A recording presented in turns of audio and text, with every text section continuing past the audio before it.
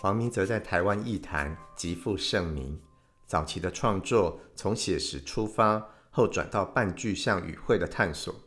一九九零年，他以台北车水马龙、繁华的东区为创作背景，描绘了一系列脍炙人口的台北东区女人绘画。在他的笔下，他将女人去性格化，将人体拉长、简化为条状，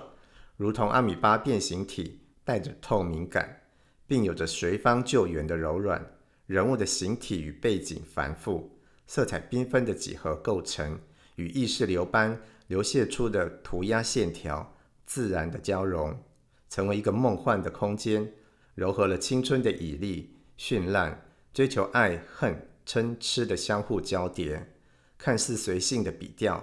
饱含艺术家日积月累的思考、耕耘与掌握全局的功力。